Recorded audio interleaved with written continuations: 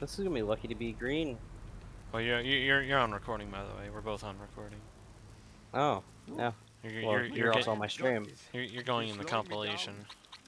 No. Give me a ride. I will Okay, pay you so, a million um, dollars in the next life, I promise. Jiminy crickets. That was the AI car, by the way. This is awful. This is literally 3701 plus 4 lost 24 seconds, um, Lisa. Okay, so I'm I'm gonna cheat here to do this setup, but you can do this legitimately. Um, Yeah, Gibbs talking with me. I am. Alright, so you park the car next to the dialogue. Um, also you'd want hit and run, which would this is the part that would be annoying to set up, but like you can do it.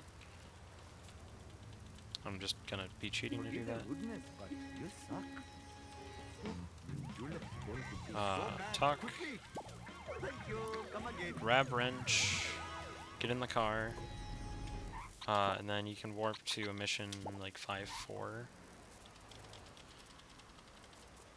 Hello, babe. Here we are at the destination. Um, and you have the car here, you can't get in it, but you can restart mission. Admit, the smell of fresh air is And now you're driving this car. the odor of the hot dog machine. And uh, yeah, that's it for that.